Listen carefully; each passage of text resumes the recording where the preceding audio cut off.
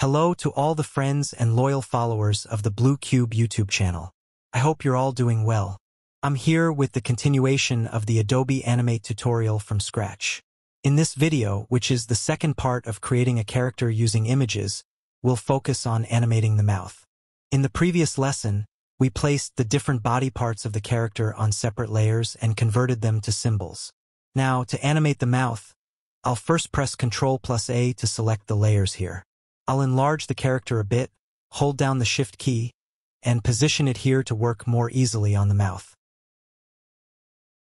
Alright, I'll click on my document to deselect it and select the head layer, which is in symbol mode.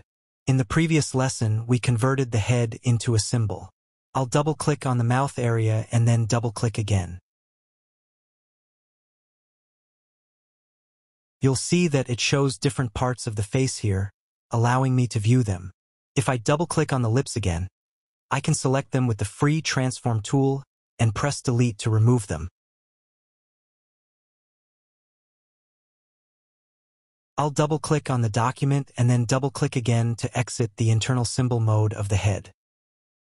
Now, friends, to create the character's mouth using images, we need to download various mouth shapes. For this, I'll go back to the Freepik website, which I introduced to you in a previous lesson. You can simply type, mouth, and click the search option.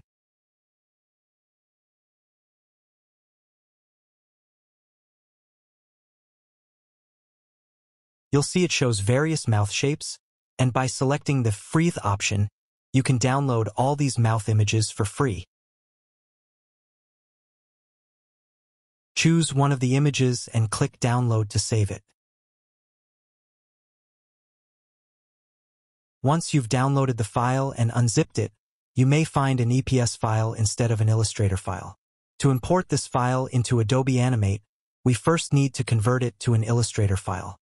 I'll double-click the file to open it in Illustrator.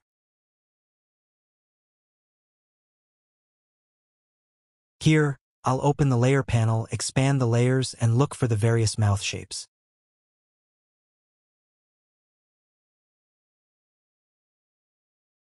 For example, if I expand these layers, you'll see it displays the different mouth shapes here. First, I click here, then click on these three lines, and select the Release to Layer Sequence option. I'll reopen this section, select it, and drag it out.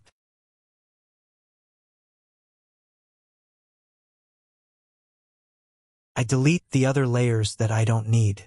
Only the different mouth shapes should remain.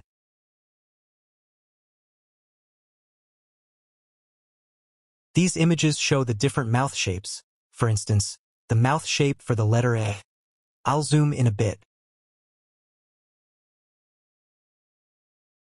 This shape represents the mouth shape for E. The O shape looks like this.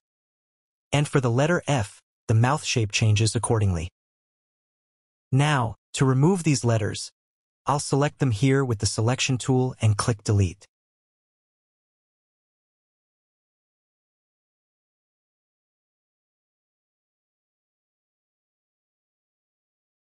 After preparing the mouth shapes, I go to File, click Save As, choose where I want to save my file, give it a name and click Save.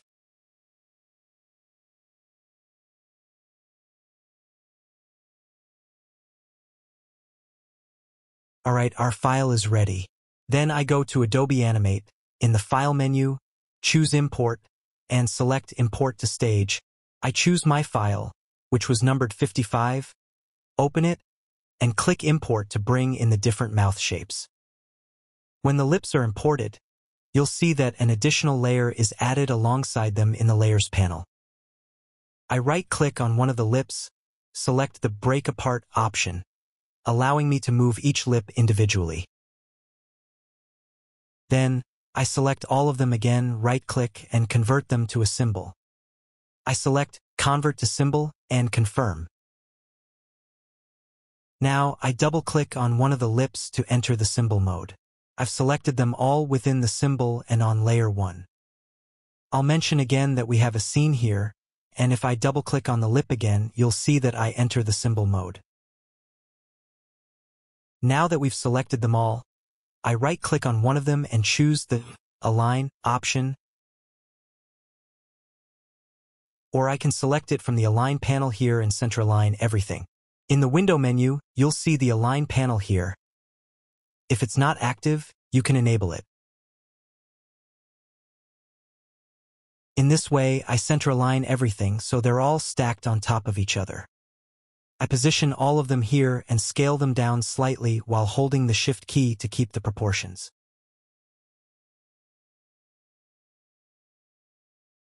Again, I select all of them, right-click, and choose the Distribute to Keyframes option here. This way, each of those layers will get a keyframe, and if I move the slider over the keyframes, you'll see the lips animate accordingly.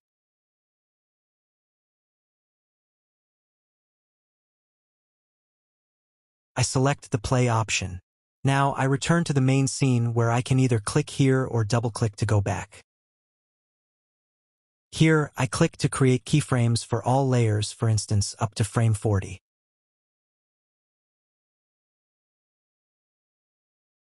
I'll zoom in so you can see better. In this way, I drag with the left click and, in the state, go and click Insert Keyframe to create a keyframe. You'll see that the lips move automatically. Now, I don't want the lips to keep moving on their own like this. I want to control the animation myself. I'll scale down here.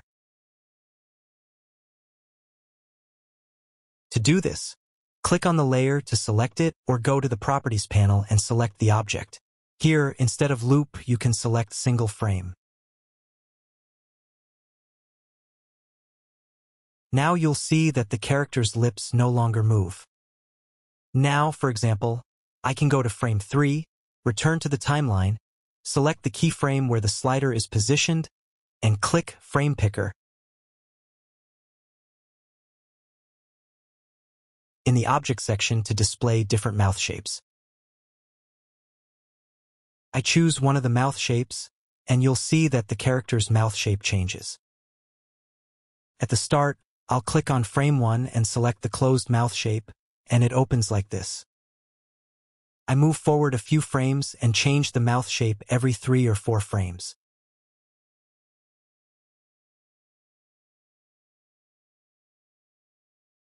The closer the keyframes are to each other, the faster the character's speaking speed. I continue this process to the end.